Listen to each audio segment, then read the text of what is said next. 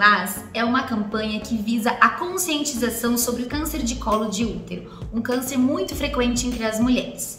O câncer de colo de útero é causado pelo HPV, transmitido através da relação sexual.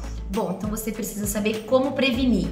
Tenha o cuidado de usar o preservativo em todas as suas relações sexuais. E a vacinação é o meio mais eficiente da gente combater esse tipo de câncer. Meninas e meninos entre 9 e 14 anos devem se vacinar. A vacina tem na rede pública e mulheres até 45 anos conseguem se vacinar na rede privada. É, o câncer de colo de útero é um câncer que evolui de uma maneira lenta, mas nem por isso você deve deixar de se cuidar.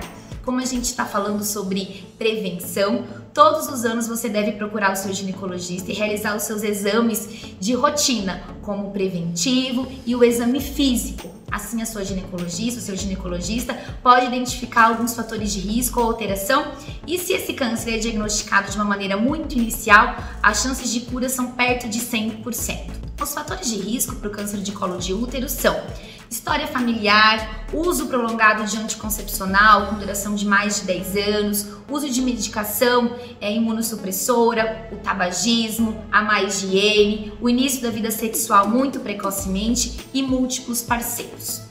Bom, se você tem alguma dúvida, preste atenção nesses sintomas que eu vou te falar.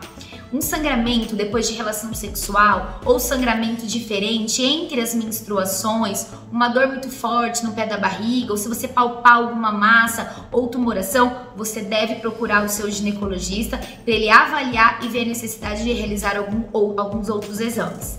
A prevenção sempre é o melhor caminho. Procure seu ginecologista.